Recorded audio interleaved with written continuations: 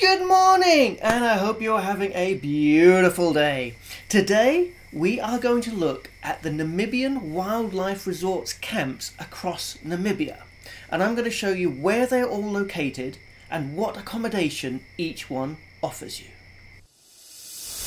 Do you remember when we first met?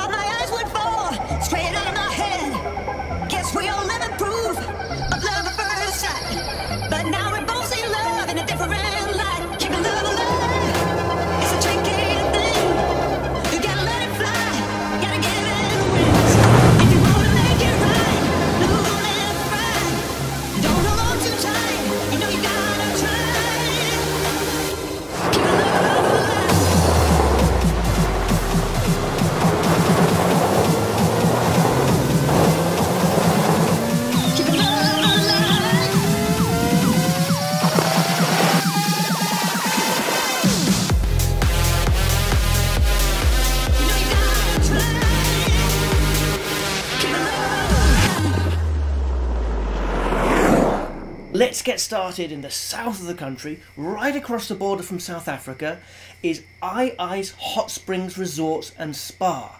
Now, Ai Ais means place of burning water because the whole resort is built on top of a hot springs at the southern end of the Fish River Canyon, which is Africa's largest canyon and the world's second largest canyon. Accommodation choices here are family chalets, rooms, and camping. Head up the canyon to the north and you will come to Hobas Camp. Hobas Camp is where you start the hike if you're going to hike the Fish River Canyon. Hobas Camp has bushrooms and camping. Now to the coast, where at Luderitz you will find Shark Island. It's on a rocky outcrop that sticks out of the sea. It can be quite windy there, but there is camping places there and you can stay in the old lighthouse. Back inland and on the desert's edge is a very unique place to stay in Namibia, Duwisib Castle. Built by a German in old German style and decorated out with things from Germany at, from the late 1800s, early 1900s, there is a castle on the edge of the desert, and you can actually stay in the rooms in the castle and also in the grounds there is camping available. Now to one of Namibia's highlights, the Namib Desert, where you can camp at Sesriem camping site and experience fantastic night skies and easy access into Sossusvlei. Or you can stay in the luxury Eco Sossus Dune Lodge with breathtaking views stretching out into the desert. Also in the general area is the Naukluft camp, just over here.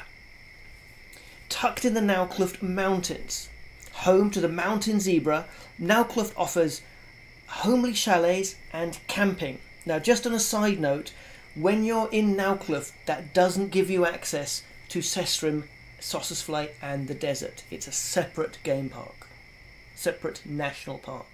Cross to Namibia's largest dam near Mariental is Hardap Dam Resort, popular with anglers, and on the main North Road B1 s- North South B1 road that goes through the centre of Namibia.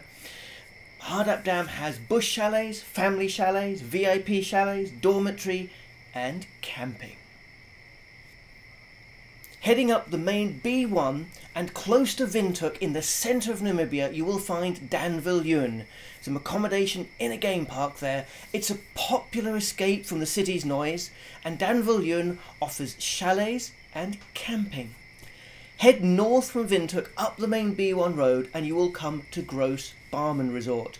Built around a beautiful lake, Gross Barmen is a very popular conference venue. They offer rooms and camping facilities.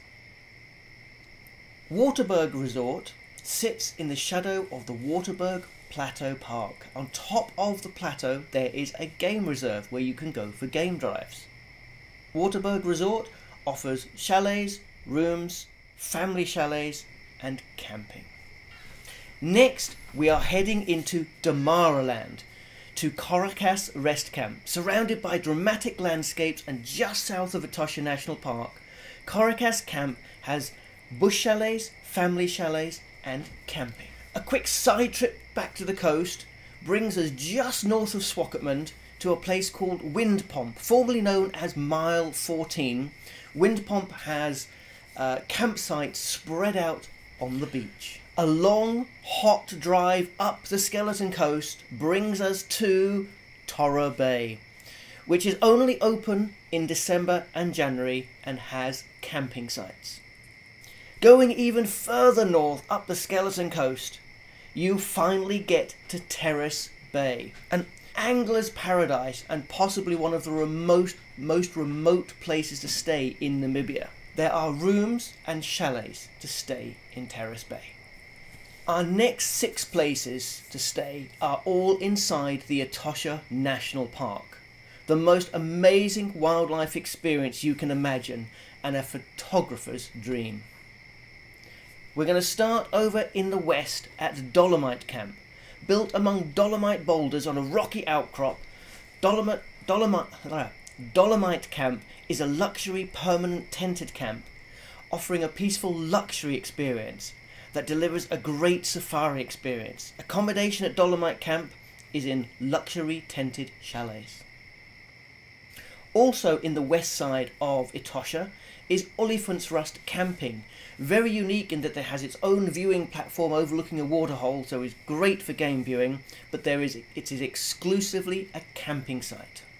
Now, to the most well-known place to stay in Etosha National Park, Okaukuejo Resort.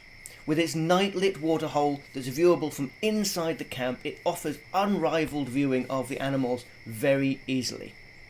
It is the biggest and busiest camp in Etosha National Park, and there is a selection of accommodation. There is rooms, bush chalets, waterhole chalets, premier water chalet, premier waterhole chalets, and camping.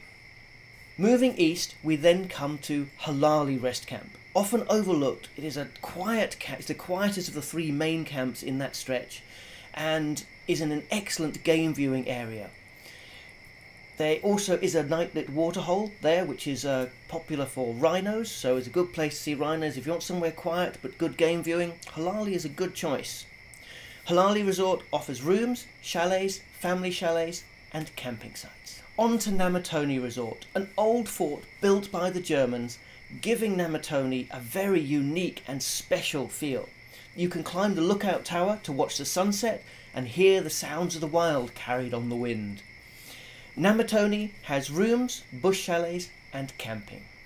Our final place to stay in Etosha is Onkoshi Luxury Eco Lodge. Built on the edge of Fisher's Pan, it's designed to have minimal impact on the environment with each chalet on stilts. It's a semi-removable camp. Accommodation here is in luxury tented chalets built on stilts overlooking the park.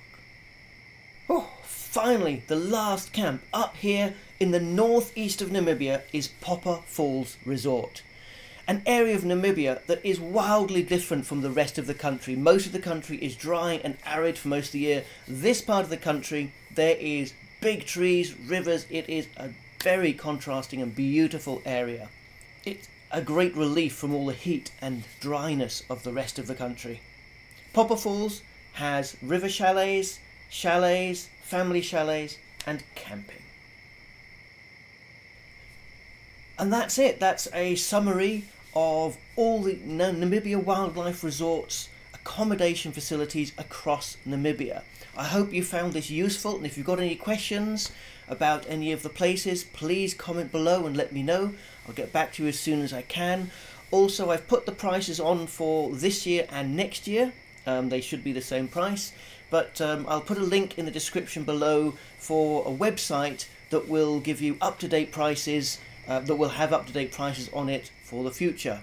And if you're thinking of going to Namibia, let me know where you're going to go, and I will do videos in more detail of all these camps in the future. Thanks for watching, and I hope to see you on safari.